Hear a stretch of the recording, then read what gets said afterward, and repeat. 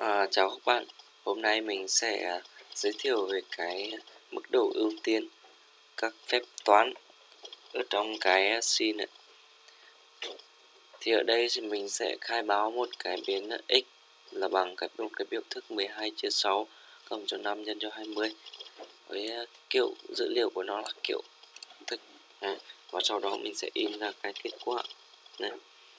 Thì ở đây như các bạn đã thấy thì đây là một cái biểu thức gồm có phép nhân phép chia và phép cộng thì nó sẽ thực hiện lần lượt à, từ trái qua phải. Đấy.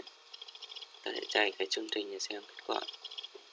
Đấy quả đây bằng 102 đấy đây đây 16 12 trên 6 thì sẽ bằng 2 và sau đó cộng cho 5 nhân 20 5 nhân 20 là 100 và cộng 2 thì nó sẽ ra một kết quả bằng 102 đấy như vậy đúng.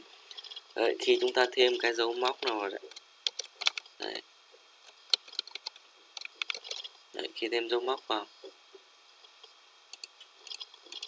Thì đương nhiên rằng nó sẽ tính ở trong dấu móc này trước. Đấy sau đó sẽ tích thích thực hiện lần lượt. Xem kết quả. Đây kết quả của nó sẽ bằng 20 đấy. Thì nó sẽ tính lần lượt và cái các cái cái độ ưu tiên thì à, ví dụ như ở đây mình thêm là âm ở đây đằng trước Đấy. âm thêm cái dấu trừ đằng trước cái chỗ 12 này xem kết quả này. thì nó sẽ ra kết quả là trừ 20 đấy ví dụ bây giờ mình thêm cái số trừ hai dấu trừ đằng số trước cái số 20 này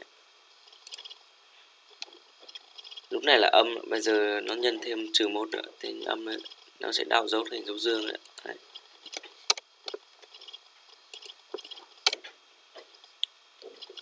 đấy thì uh, như các bạn thấy thì cái độ ưu tiên ở trong phép toán ở trong cực si nó cũng, cũng hoàn toàn tương tự như ở trong cái những cái phép toán đại số thông thường đấy mà môn ta học cái toán thông thường đấy mình chỉ lưu ý thêm một cái một số điều như sau thì à, với những cái phép toán phức tạp đấy, thì mình à, không nên thực hiện đấy, những cái phép tính đó vì nó rất dễ là có cái sai số đấy.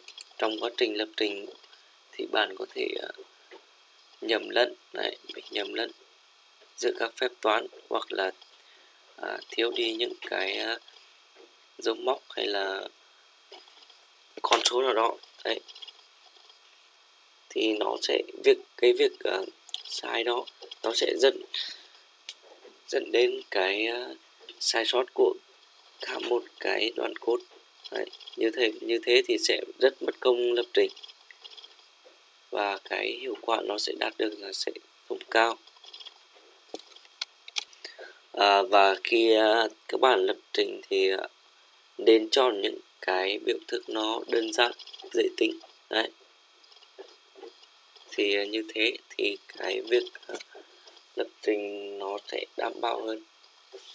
À, cảm ơn các bạn đã theo dõi.